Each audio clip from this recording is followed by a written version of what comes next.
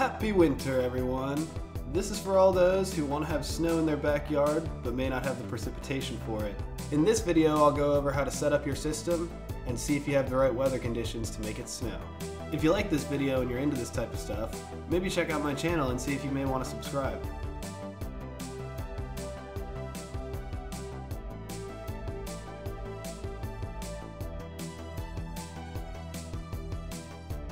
All right, so let me show you what we're dealing with. So I got a 2700 PSI uh, pressure washer, but the more important number for making snow is the gallons per minute that it puts out.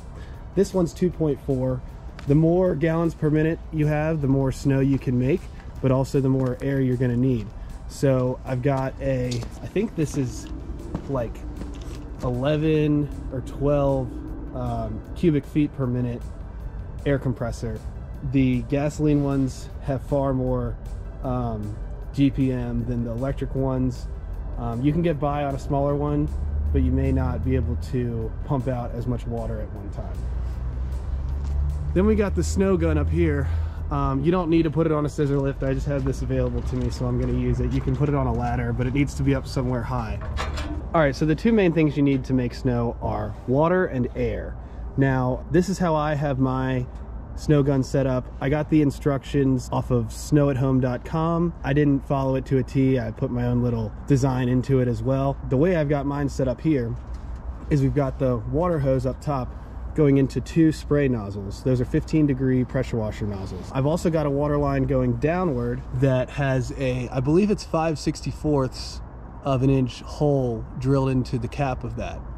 So you can regulate the water with this lever here and you can also regulate the air that's coming out the bottom with this regulator. So basically you've got water spraying going on up top and then you've got air splitting up the water particles on the bottom.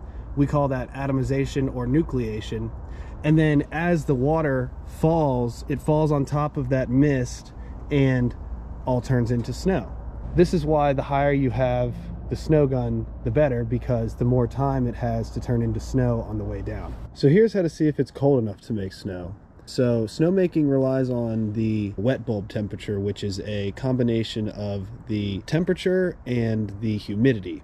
So we can see it's 28 degrees Fahrenheit and it is 63% humidity. So now we can go on to an online calculator and we can put in it's 28 degrees and the humidity is 63%. So now we can see it is 23.3 degrees in wet bulb, which is below freezing, so we're good to make snow. And of course, the colder it is and the drier it is, the higher quality of the snow. And if it's more humid outside, that means that it needs to be colder to be able to make snow.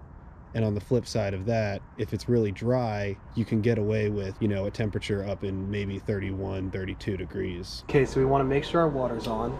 So now we can start up our pressure washer.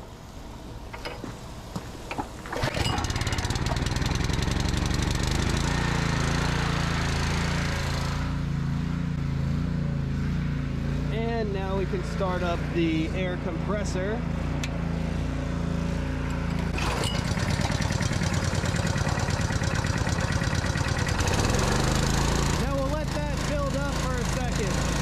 Okay, so now we can turn the water on.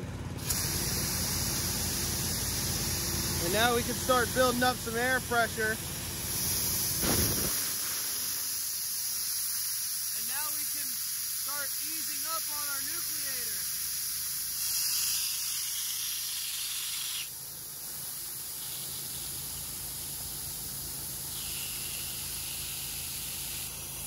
All right, now I'm gonna raise up the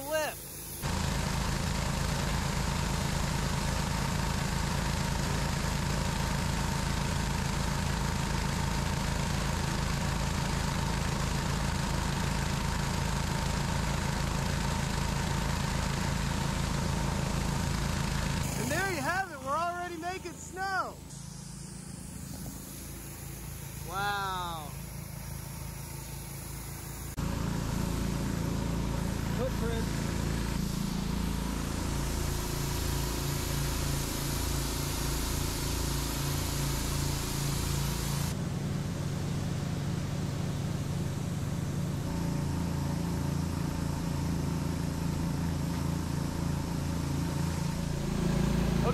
enjoyed. I'm gonna go up now.